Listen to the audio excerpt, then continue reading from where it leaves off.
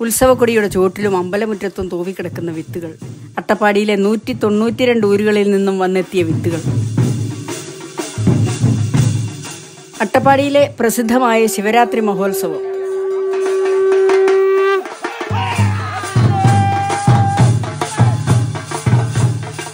കൊല്ലങ്കട ഊര്. ഇവിടുത്തെ പൂജാരിയുടെ വീട്ടിൽ സൂക്ഷിച്ചിരിക്കുന്ന ഭഗവാന്റെ വിഗ്രഹം മല്ലീശ്വരം കോവിലിൽ എത്തിക്കാനുള്ള ചടങ്ങുകൾ നടക്കുന്നു.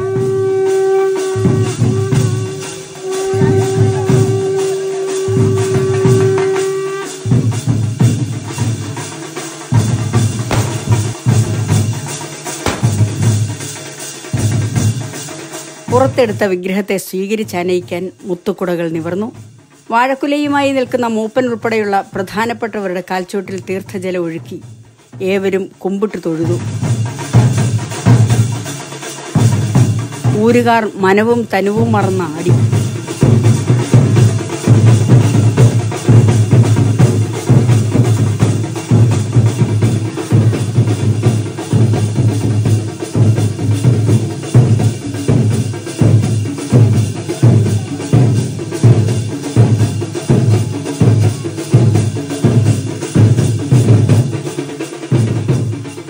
പ്രധാനപ്പെട്ട ചടങ്ങുകൾ കഴിഞ്ഞു.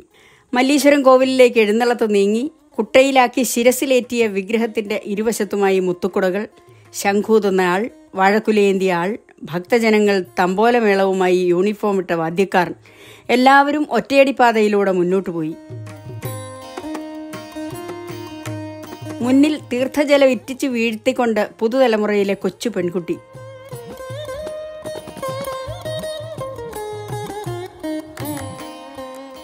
മല്ലീശ്വരമുടി ഈ കുഞ്ഞു സംഘത്തെ എതിരേൽക്കാൻ എന്ന വണ്ണം അവർക്ക് നേരെ മുന്നിൽ അകലെയായി ഉയർന്നു നിന്നു.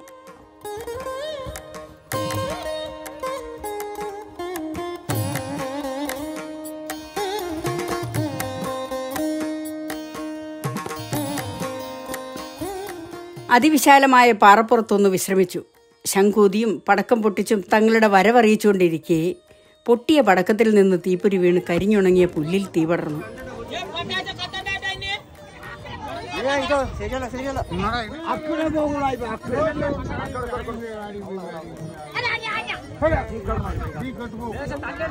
തീ പടർന്നു വളരെ ജാഗ്രതയോടെ നിമിഷങ്ങൾക്കകം അവർ തന്നെ ആ തീ കെടുത്തി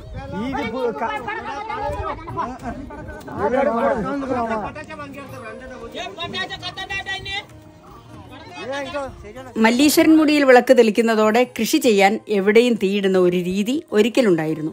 അന്നത്തെ കാർഷിക സമ്പ്രദായം അത്തരത്തിലായിരുന്നു. പുനംകൃഷി മാറ്റകൃഷി എന്നൊക്കെ പറയും.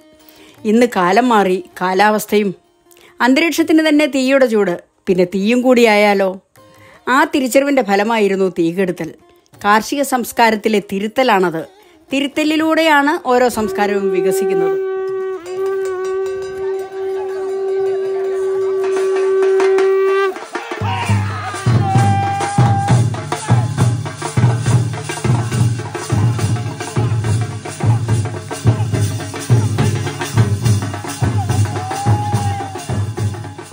പാറയും ചരലും നിറഞ്ഞ കുത്തനെയുള്ള വഴിയിലൂടെ ആത്മാർത്ഥതയോടെ ശ്രദ്ധയോടെ വഴിനീള തീർത്ഥം തളിച്ച് ശുദ്ധമാക്കിക്കൊണ്ട് ഒരു പുതുതലമുറക്കാരി ഇതാ. ഗോത്രാചാര പ്രകാരമുള്ള ആ ഘോഷയാത്ര പ്രധാന റോഡിലെത്തി. കൊടക്കാട് സുന്ദരനാശാനും സംഘവും ചെണ്ടമേളത്തോടെ അവരെ ക്ഷേത്രത്തിലേക്ക് സ്വീകരിച്ചാനയിച്ചു.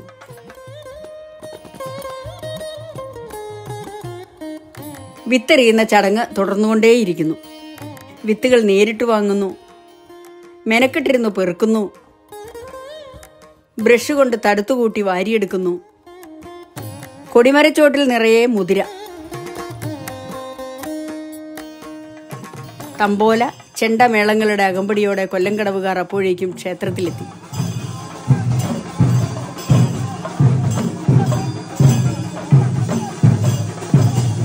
ക്ഷേത്ര നടവാതിലിന് മുന്നിൽ ഭക്തിപൂർവം നിന്ന് ശംഖുമുഴക്കുന്നു കൊല്ലംകടവിലെ പൂജാരി.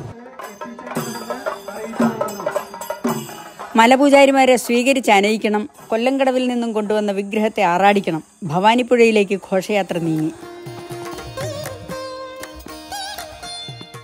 ഗോത്രവർഗക്കാരുടെ ഇടയിലെ അസാധാരണ സംസ്കൃതിയാണ് ഈ വിത്തെറിയൽ ചടങ്ങ്. വിത്തുത്സവമാണ് എന്ന് പോലും പറയാം.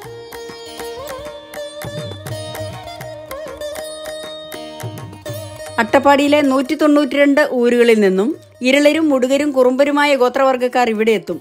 കാർഷിക സംസ്കാരത്തിൽ അടിയുറച്ചു വളർന്നവർ. തങ്ങൾ ഉൽപ്പാദിപ്പിച്ച വിളകളുടെ ഏറ്റവും ശ്രേഷ്ഠമായ വിത്തുകൾ ആണ്ടവന് സമർപ്പിക്കും. ക്ഷേത്രത്തിന് ചുറ്റും നടന്ന് മുകളിലേക്ക് അത് വാരി വിതറും.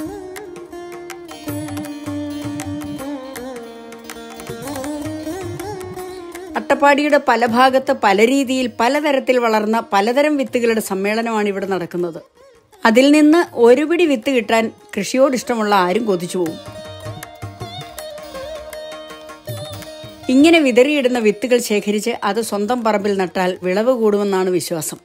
കൃഷി ഐശ്വര്യപൂർണമാകുമെന്നാണ് വിശ്വാസം. കുംഭത്തിലെ ശിവരാത്രി മഹോത്സവ ശേഷമാണ് ഗോത്രവർഗക്കാർ കൃഷികൾ ഇറക്കാൻ തുടങ്ങുക. ഊരു ഭരണാധികാരികളിൽ ഒരാളായ മണ്ണുക്കാരൻ എന്ന കൃഷിമന്ത്രിയുടെ മേൽനോട്ടത്തിൽ കമ്പളം എന്ന ചടങ്ങോടെ കൃഷി തുടങ്ങുമ്പോൾ ഈ വിത്തുകൾ ഉണ്ടായിരിക്കണമെന്നായിരുന്നു. അട്ടപ്പാടിയിലെ നൂറ്റി തൊണ്ണൂറ്റി രണ്ട് ഊരുകാരുടെ ജൈവ വൈവിധ്യം ഒരു ചെറിയ ബിന്ദുവിലേക്ക് കേന്ദ്രീകരിക്കുന്നു. അവിടെ നിന്ന് അത് വീണ്ടും നൂറ്റി തൊണ്ണൂറ്റി രണ്ട് ഊരുകളിലേക്കും പടരുന്നു. ഇന്ന് ജൈവ വൈവിധ്യ സംരക്ഷണത്തിന്റെ ആവശ്യകതയെക്കുറിച്ച് പാഠപുസ്തകങ്ങളിൽ പഠിക്കാൻ പോലുമുണ്ട്. അതിനൊക്കെ എത്രയോ മുമ്പ് തന്നെ ജൈവ സംരക്ഷണത്തിന്റെ ലോകോത്തര മാതൃകയായിരുന്നു ഈ ഗോത്ര സമൂഹം കാഴ്ചവെച്ചിരുന്നത്. ഈ ഗോത്ര സമൂഹം മാത്രമല്ല കൃഷിയെ സ്നേഹിക്കുന്നവരൊക്കെയും വിത്തുകൾ ശേഖരിക്കുന്നതും ചോദിച്ചു വാങ്ങുന്നതുമൊക്കെ കാണാം. ഞങ്ങളും പോകും വിത്തുകൾ പെറുക്കിയെടുക്കും. അങ്ങനെ ഞങ്ങൾക്ക് അപൂർവങ്ങളായ പല വിത്തുകളും കിട്ടിയിരുന്നു. സാഹചര്യവശാൽ നഷ്ടമായ അത്തരം ചില വിത്തുകൾ തേടിയാണ് ഞങ്ങൾ ഇപ്പോൾ പോകാറ്. പക്ഷേ ഒരു കാര്യം വേദനയോടെ പറയട്ടെ. ഇപ്പോൾ വിത്തുകളിൽ വൈവിധ്യം തീരെയില്ല. ഗുണനിലവാരവുമില്ല. കുരുമുളക് പച്ച കുരുമുളക് പോലെ വിത്തിനെടുക്കാത്തത് പോലും കാണുന്നുണ്ട് ക്ഷേത്രാധികാരികളുടെ ശ്രദ്ധയിൽ ഇത് പെട്ടെങ്കിൽ പരിഹാരമുണ്ടാക്കിയെങ്കിൽ എന്ന് ആഗ്രഹിച്ചു പോകുന്നു.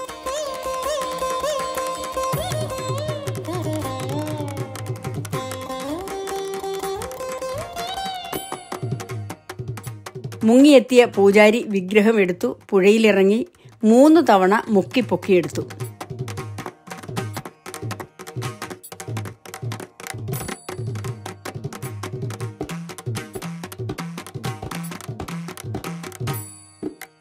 കടുത്ത കാവി നിറത്തിലുള്ള വേഷധാരികളായ മലപൂജാരിമാരുടെ കടുംപച്ച നിറമുള്ള മുളംകുറ്റികളിൽ പാൽ നെയ്യ് എണ്ണ എന്നിവ ഒഴിച്ചു. എല്ലാ കുറ്റികളിലും നാണയങ്ങളിട്ടു വഴിപാടുകളായി ഭക്തർ സമർപ്പിക്കുന്നതാണിതെല്ലാം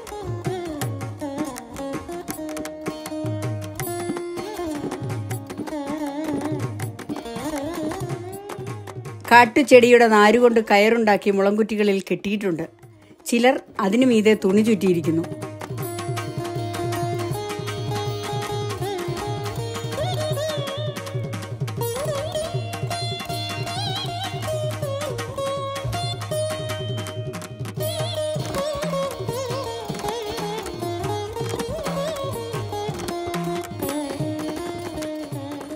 മുളങ്കുറ്റികൾ തോളിലേന്തിയ മലപൂജാരിമാർക്കൊപ്പം കൊല്ലംകടവുകാരും ഭക്തജനങ്ങളും ക്ഷേത്രത്തിലേക്കുള്ള മടക്കത്തിൽ. ചെടിത്തലപ്പുകളും ശൂലവുമൊക്കെ ഗോത്രാചാരങ്ങളുടെ ഭാഗമാണ്. നിറമണിഞ്ഞ കാഴ്ചകൾ ആസ്വദിക്കാൻ പാലം നിറഞ്ഞ കാഴ്ചക്കാർ. ഒന്നു ചീഞ്ഞാലേ മറ്റൊന്നിന് വളമാകൂ. ആകാശക്കാഴ്ചകൾ നഷ്ടപ്പെട്ട പാവം പക്ഷിയുടെ ജീവിതം. രണ്ടറ്റം കൂട്ടിമുട്ടിക്കാൻ പാടുപെടുന്ന പക്ഷി നോട്ടക്കാരന്റെ ജീവിതം. ഉത്സവങ്ങൾ ഇവർക്കൊക്കെയും കൂടിയുള്ളതാണ്.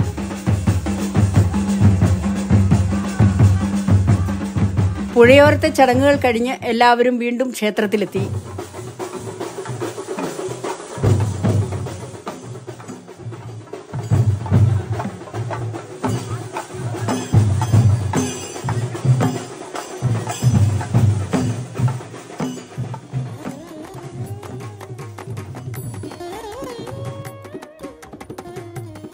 കുട്ടിക്കാളകളും മണ്ണുകൊണ്ടുണ്ടാക്കിയ കാളകളുടെ ബൊമ്മകളുമാണ് ഇവിടുത്തെ പ്രധാന നേർച്ച. മല്ലീശ്വരന്റെ വാഹനമായതുകൊണ്ടാണ് കാളകൾക്കും കാളകളുടെ ബൊമ്മകൾക്കും ഇത്ര പ്രാധാന്യം ഭക്തർ കൊടുത്തിരിക്കുന്നത്. പൂക്കളും ഭസ്മ ചന്ദനാദികളും ചാർത്തി ആരതി ഒഴിഞ്ഞ് ഭക്തർ കൊണ്ടുവന്ന നേർച്ചകൾ പരമശിവന് സമർപ്പിക്കും. അത്തരം അനേകമനേകം ബൊമ്മകളാണ് ഉത്സവകാലത്ത് ഇവിടെ എത്തുക.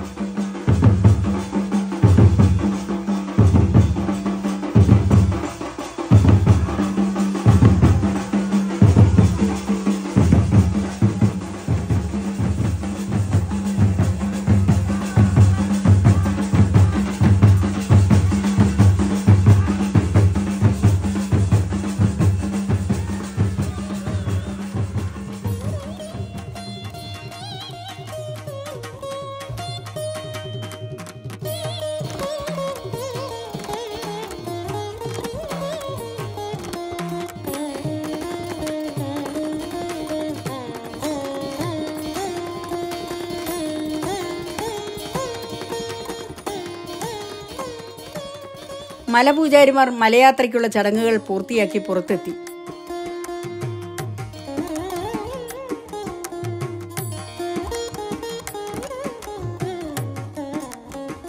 മലപൂജാരിമാരുടെ പാദം തൊട്ട് വന്ദിച്ചും മുളങ്കുറ്റിയിൽ നാണയമിട്ടും ഭക്തർ ചുറ്റും കൂടി.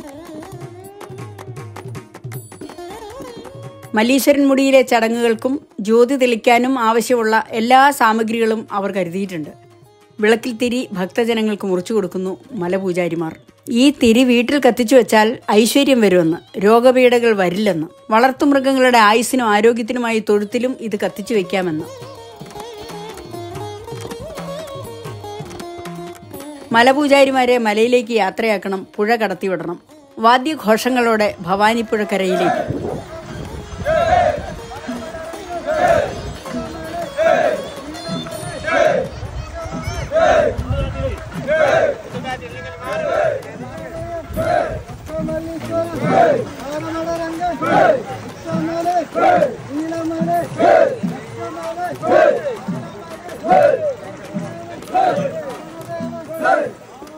വ്രതശുദ്ധി കാത്ത് തയ്യാറെടുത്തിരുന്ന മലപൂജാരിമാർ ഭക്തിപൂർവം മല്ലീശ്വരൻ മലയുടെ നെറുകയിലേക്ക് യാത്രയായി.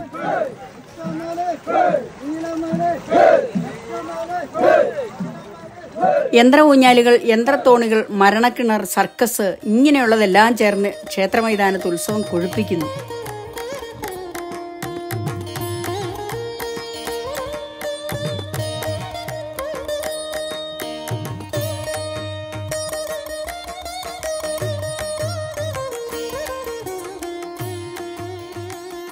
നിറങ്ങളുടെ നൃത്തമാണ് ചുറ്റും.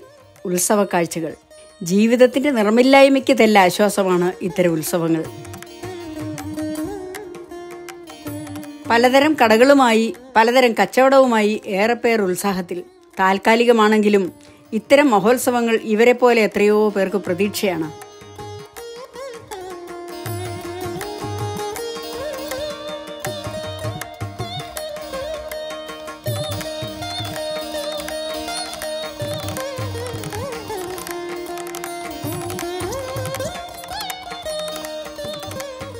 സന്ധ്യയോടെ ടീം ദക്ഷിണ ക്ഷേത്രത്തിൽ നിന്നും മടങ്ങിയെത്തി. സന്ധ്യ മയങ്ങിയപ്പോൾ കുട്ടിവനത്തിലൂടെ മുത്തശ്ശനും മുത്തശ്ശിയും ഉൾപ്പെടെ എല്ലാവരും കൂടി ജ്യോതി കാണാൻ അക്കരപ്പറമ്പിലേക്ക് പോയി. അട്ടപ്പാടിയിലെ ഏറ്റവും ഉയരമുള്ള കൊടുമുടി ആയതുകൊണ്ട് മിക്കവാറും എല്ലാ സ്ഥലങ്ങളിൽ നിന്നും കൂർത്തു നിൽക്കുന്ന മല്ലീശ്വരൻ മല കാണാം. പടിഞ്ഞാറ ചക്രവാളത്തിൽ ദീപം തെളിയുന്നത് കണ്ടു. അട്ടപ്പാടിയിലെ മിക്ക മലകളിൽ നിന്നും മനോഹരമായ ഈ കാഴ്ച കാണാൻ കഴിയും.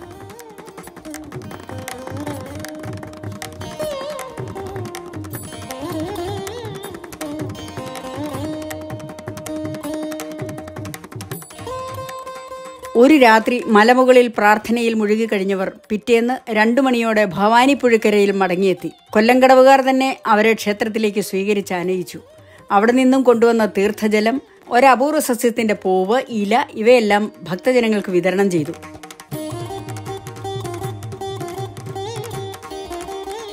അതോടെ ഗോത്രാചാര തനിമയോടെ നടത്തിപ്പോന്ന ചടങ്ങുകൾ അവസാനിച്ചു.